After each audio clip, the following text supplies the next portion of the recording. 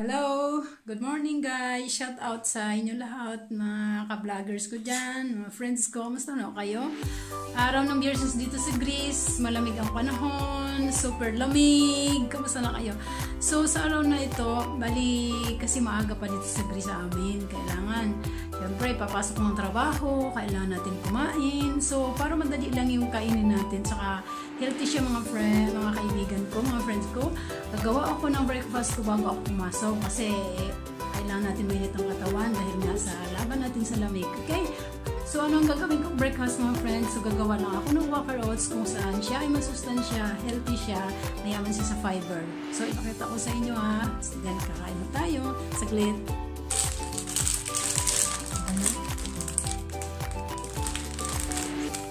Ito yung Walker Oats namin dito. Yan. Kasi mga friend, kasi dito sa Greece, meron mo ditong Walker Oats na medyo mas mura siya. Nakakatipid tayo. Kasi iba-ibang klase ng Walker Oats eh, di ba?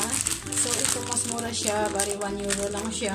Kumpara mo sa ibang mga Walker Oats na mas mataas, mga 2 euro mahigit. Ito, bali, ako kasi pag nagluluto, uh, ako, nilalagyan ko siya ng milk. Pero dahil si Habi ang kakain, ayaw niya ng may milk. Ang gusto lang niya, water lang sa kanya. So ako, balik ko natasa ko na lang yan. Mix in na uh, baba kunti lang. Ayaw niya ng marami. So, dahil gusto niyang kunti lang, kunti lang din ang lulutuin ko sa kanya. So, bali ang nilalagay ko dyan, mix sasabihin na lang natin ng mga apat na teaspoon na water oats. Ganito lang yung mga friends eh. Kasi alam mo naman na ito talaga ang Quaker Oats. Mayaman siya sa fiber. Diba? Ilagay lang natin siya ng ganon. Ako mga 4 tablespoon lang kay Habi. Yan. Kasi ang, ang Quaker Oats mayaman siya sa fiber. Tsaka maganda siya sa katawan. At saka alam nyo sa may mga cholesterol. Talagang ito ang dapat kainin. Kasi pangpadayit siya talaga. Tsaka wala siya kasing ano eh, mayaban siya sa fiber sa lahat-lahat. Saka masarap siyang kainin. So kung gusto nyo, ang iba, kung gusto nyo, lagyan nyo siya ng chocolate. Pagkatapos, o chocolate, gatas, o kaya eh, gatas, chocolate o di ba parang naging champurado na siya pag niluto na.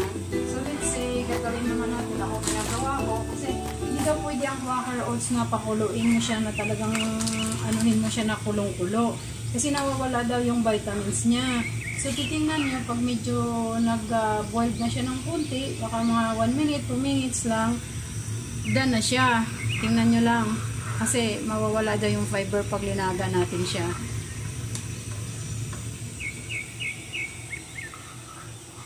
Na siya mga friend, oh. Tingnan niyo kailangan medyo may kunti siyang ano, hindi siya masyadong malapot. Kasi pag pag malapot kasi parang mahirap kainin, parang nakabara sa palalamunan.